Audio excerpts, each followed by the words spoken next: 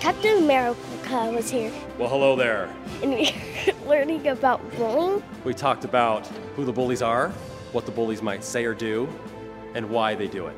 They're usually jealous, so they bully you. And if you can just ignore them, just ignore them. They probably just want to mess with you, or they're just jealous.